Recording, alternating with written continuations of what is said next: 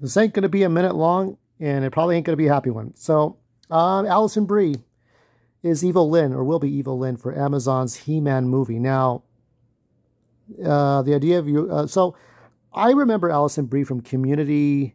Uh, she did some sitcoms, lighthearted stuff, funny, dark humor, but mostly funny stuff. There she is. She's not Sarah Douglas. I like Sarah Douglas. Sarah Douglas was a great villain in, um, what is it, Conan the Destroyer, right? Remember that? Oh, that was good times. Good times. But that was a couple of generations ago. So let's look at the article. Alison Brie has nabbed the key, uh, key villain role of Evil-Lyn for Amazon, Amazon's MGM Studios and Mattel Films live-action take on Masters of the Universe. The actress currently seen on Peacock's Thriller limited series Apples Never Fail from Nicholas uh, joins Nicholas Galitzine and Camila Mendes. Uh, so leads the actress as He-Man, while Mendes is on the call sheet for the role of Teela, the captain of the Royal Guard and possible romantic interest.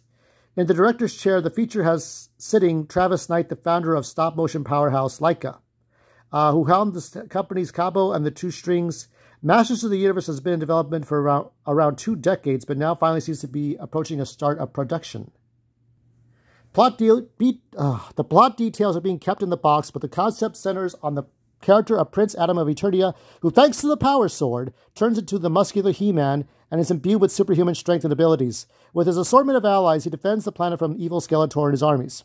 Evil-Lyn is Skeletor's second in command and uses a wand with a crystal orb to practice the dark arts. Meg Foster portrayed the character first in 87. Screen, screenplay is by Chris Butler. Uh, David Callaham uh, first wrote it, and then Aaron and Adam Nee uh, wrote another draft.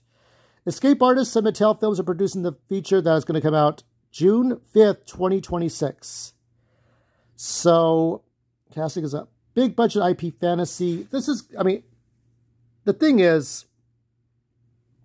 so Alison Brie.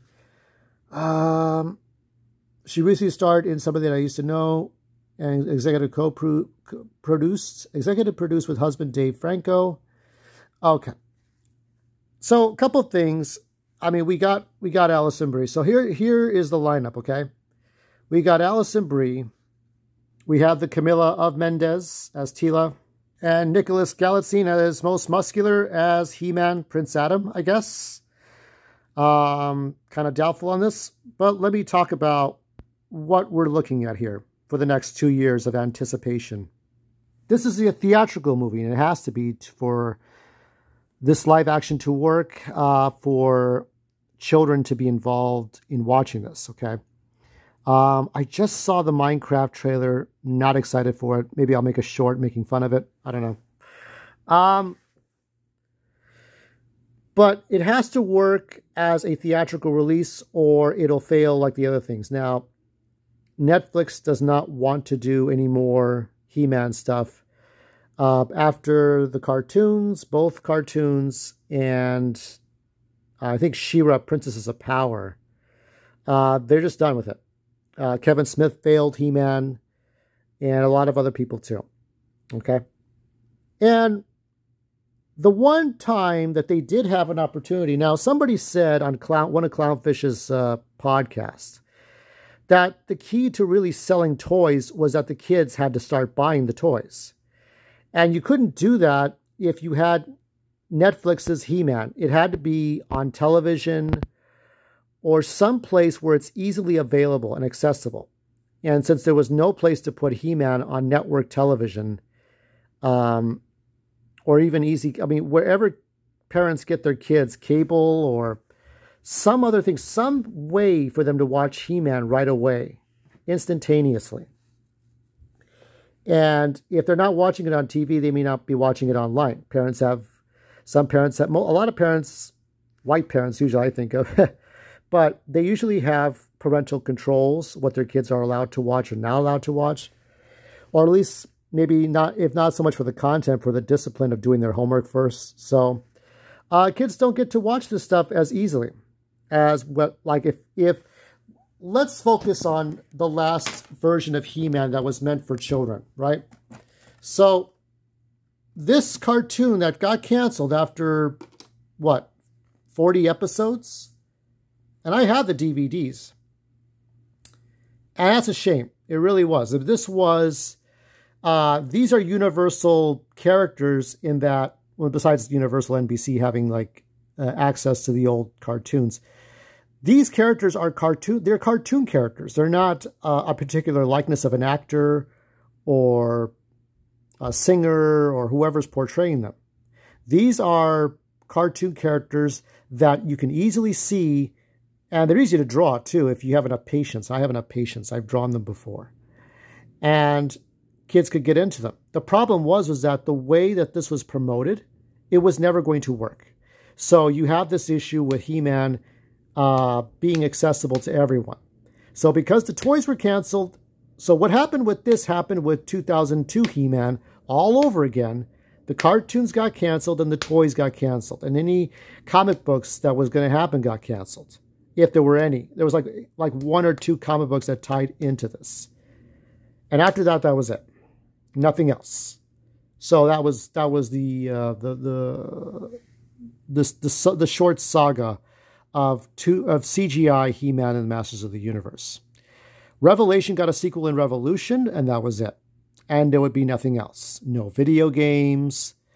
Uh, the comic books were limited to some aspect of Revelation or Revolution of Masters of the Universe, and that's all. Dark Horse would have uh, its its say what happens in the further adventures, but most of my collecting is done. Now we're expected to take on these characters. Now I've I've shown uh, Paul Gerard's art of Masters of the Universe. Paul Gerard tells a Zack Snyder gothic, heavy metal, death metal, um, Conan the Barbarian, more adult story of Masters of the Universe with uh, He-Man and Skeletor. Uh, what is the what is what are these characters are what are these characters doing? Do they make a pact with the devil? Is there murder? Is there blood? Is there grotesque uh, deskinning of characters or uh, do characters, you know, grossly transform into other things? You know, or, you know, is Triclops a robot that literally like makes surgical implants into humans in bloody ways that only adults would appreciate? And I think a lot of, to be fair, I make fun of my own peers. Okay, I'm in my 40s. A lot of people want to be man children or women children, and they want to literally go back to those days. You can't. I mean, you can go you can go and collect vintage figures, but you can't literally go back. Mattel doesn't know what, the, they don't know what they're doing. Now, even if, and I'm saying this now because I'm at the uh, eight minute mark here, okay, of people who think they know what I'm talking about. Even if Camila Mendes, Nicholas Galitzine, and Alison Brie convince you that they are He-Man, Teela, and Evil-Lyn, is this movie for kids? And if it is for kids, are the toy? There have to be fucking toys there have to be another wave of toys.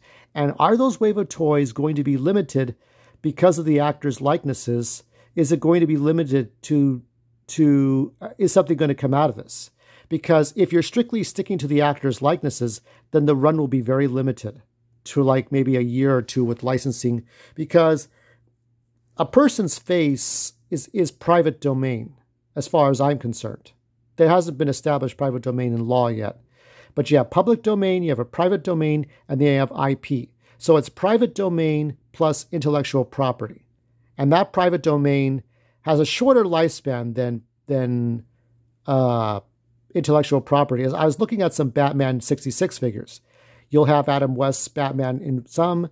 In other characters, you won't have the exact likeness. It'll be a little strange, but you have all the characters of Batman 66, even if you don't have all the actors like uh, the either the actor's approval or the estate approval of the actor who passed away or is incapable of answering. So how what, what's the what's the shelf life of these actors likeness action figures going to be? And if you can get around the likenesses long after their approvals, then you have the world of that particular Masters of the Universe that has to hold on to something. So it's a big old fucking gamble. And based on this. I mean, we go back to this. This had such great potential. Okay, Um, I'm looking at the Eldris, but we'll we'll look together at these great pieces of art. Look at that's that's Eldris, right? What a great, you know, thick sorceress. Orko the Great. Um, before you had the robot Orko. This is the problem that you throw away these great things because you have a quote unquote better idea. But do you have a better idea? There's Stratos. You know, it has, I won't say woke, but I will say progressive, politically correct He Man today. Okay? And that is fine because this worked fine. The only problem I told you I had with this was that it was moving too damn fast. And they, and Rob and the other showrunners, they needed to, Rob David, the other guy, they needed to slow down. Just slow down a bit so the adults can catch up to the storytelling. Okay? This is the, um, I believe this is the, uh, the Talon Fighter. This is the, the new Talon Fighter. We were discovering He Man all over again because we know the stories, but they try to reinvent it slightly, give Lady Slither a new background, new, a new origin story, give other characters new origin stories, but be a bit confusing like the prime timeline is in Star Trek. Um, I just I wanted to see more of this, and I'm disappointed that we're not going to get that. We're going to oh no no no it's fine. Nicholas Galitzine, Camila Mendes, Alison Brie, uh, this guy from this show who did this cable show, he's going to play Man at Arms uh, from this uh, subscription series. He's going to play Man at Arms. Maybe we'll get somebody from Westworld to play, uh, I don't know, uh, Clamp Champ or Fisto. I don't know. Like they're going to get different actors, but I just I just don't care now. I just don't care now. Now, I may go, I'm going to probably go see this if it's in theaters, okay? I'll go see it. I'll give you a proper review, but I'm not that optimistic about this. All I've been doing right now is just buying old Mattel products. Now, 2026 may be the year that I go back on my word, or at least at a halfway point in which I'm willing to invest in the Masters of the Universe toys that are based on the movie. But if this movie does not make this one look like shit, or Revolution look like shit, or Revelation, then this was all a waste of time. If this doesn't really put Princesses of Power in its place, then this was a waste of fucking time. I have nothing against the actors. I think they'll do a great job. But based on Alice, what Alison Brie has done, based on the stuff that Camila Mendes has done and Nicholas has done, I don't see this being like a dark adult movie. This is a kids movie for PG to PG 13, maybe PG 13. They might as well try to meet halfway and try to do PG 13. If they try to do PG, it's probably going to get lost upon people. This will be another Concord, live action Concord, right? I don't know. I don't know what it's going to be, but I'm very, I'm very concerned about it. So that is my concern. That is my rant, and I'm going to move on to better things than He Man in 2026.